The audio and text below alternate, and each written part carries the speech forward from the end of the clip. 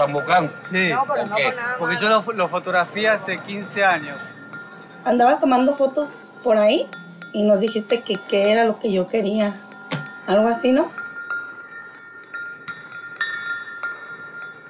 19 años. No hemos progresado, nada más hemos sobrevivido.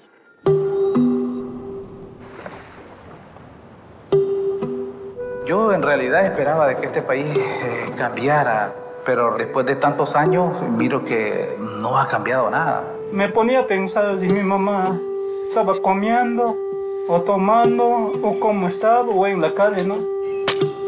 Vivi uma vida tão bonita, mas de repente aconteceu. Ha sido tan cruel el- la represión. Borraron los sueños. Prohibido, prohibido, sí.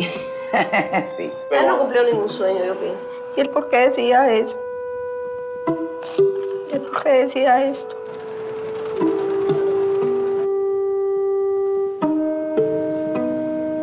Setenta ...70% hoje em dia não está mais aqui. Está tá tudo enterrado. Eu não posso chegar a meu país.